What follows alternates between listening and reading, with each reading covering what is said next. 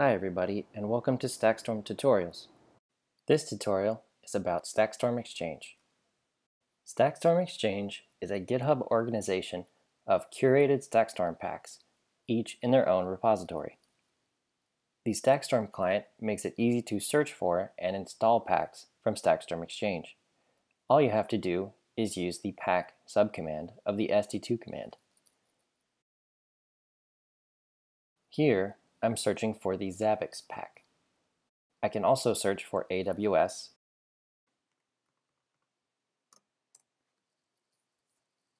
in Azure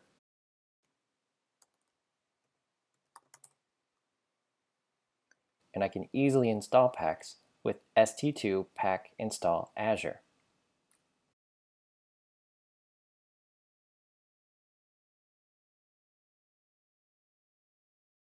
Now, when I list all of the packs, you can see that the Azure pack has been installed. Pack installation runs as a Stackstorm action. To view its status, check the Execution History tab in the Web UI.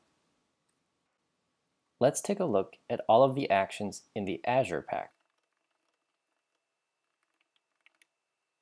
All of these actions are now available to any workflows I create. You can also use the Exchange web interface at exchange.stackstorm.org.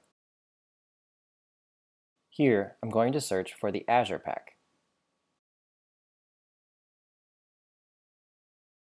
This is the link to the Pack's GitHub repository. On GitHub, you can find the documentation for the Azure Pack by looking at the README. These are the available actions in the Azure Pack. You can also list all of the available actions by looking into the code itself.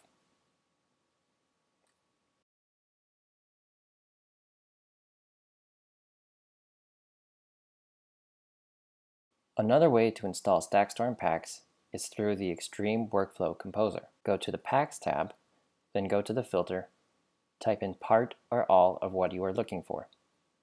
Here I'm looking for the GitHub pack, so I select it on the left and click Install. I can then go view the execution in the History tab.